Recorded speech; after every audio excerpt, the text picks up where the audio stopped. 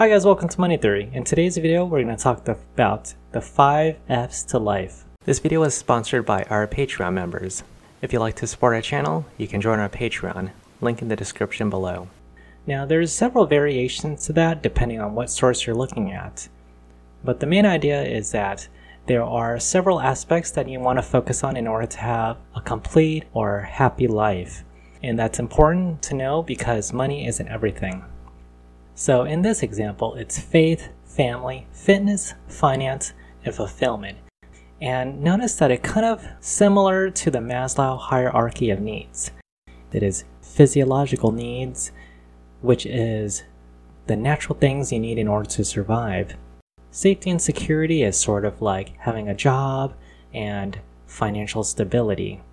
Love and belonging just means connection with other people. Self esteem is the confidence. And self actualization is like a fulfillment with your life. So, we mentioned earlier, money isn't everything. And it is important to know because money is only one aspect in life, it's not going to bring happiness. It's more of a tool in order to pay for things that you need, or to survive, or to enjoy yourself. And there's a famous quote by Jim Carrey.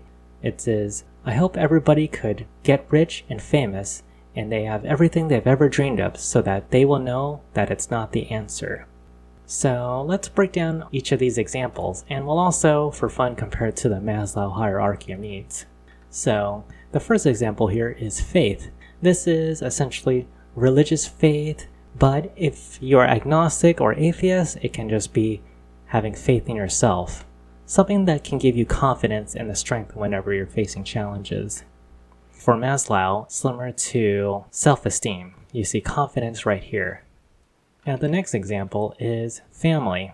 There is a famous quote No man is an island. It essentially means that we need interpersonal relationship in our lives. And famously, during the COVID lockdowns, people had to isolate themselves. So it is a reminder that when you don't have that connection with others, you're missing a part of yourself. In this example, it's just talking about family, but I want to extend that to any close relationship, like close friends.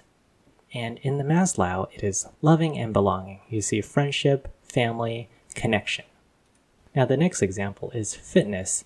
Now, this just revolves around your physical health. So that is diet, exercise, how it can relate to money is that people may focus too much on their budget where they forget to exercise or they cut corners in their diet. So they'll eat fast food in order to save time and save money, but it's important that you need to take care of your health as well.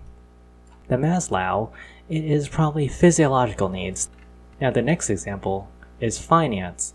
So even though money isn't everything, it is one aspect of life that you need to remember Money is there to pay for all your bills, things that you need like food, shelter, and any activities that you can do for fun and spend time with family and friends. In this example of the Maslow, most similar to safety and security since you can consider employment for the security. And the last example here is fulfillment. So this is your purpose in life. What do you do where you feel accomplished with your life? Like, let's say you retire or you're near the end of your life. You want to look back at your life and think like you've lived a complete life. This can be things that you teach to the next generation, to your kids, grandkids, or maybe service to the community or philanthropy, something that you can pass on as a legacy. In the Maslow, it is most similar to self actualization, that is, purpose and meaning. And remember that there are several aspects that you need to focus on in order to have a complete life. Hi guys, hope you enjoyed our video. If you'd like to support our channel, you can join our Patreon or buy me a coffee. Be sure to like, comment, and subscribe. We also completed our financial coaching and business consulting website. Please check it out at moneytheory.net.